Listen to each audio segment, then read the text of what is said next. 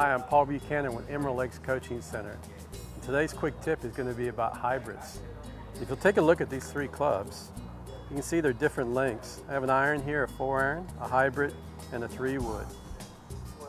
And people get a little bit confused on what to do with that club in the middle. So um, the best way to describe it is it is an iron. So we're going to treat it just like one. Fairway wood we usually put in the front of our stance. So you can see where this ball is positioned in my setup. With a hybrid, we put it more in the middle. So we're going to treat it just like our four iron. So when we swing this club, you're actually going to be taking a divot. That's one of the things that we don't do. So I'll show you how that's done real quick. So set up. Just feel like you've got your iron in your hand. Take a good swing at it.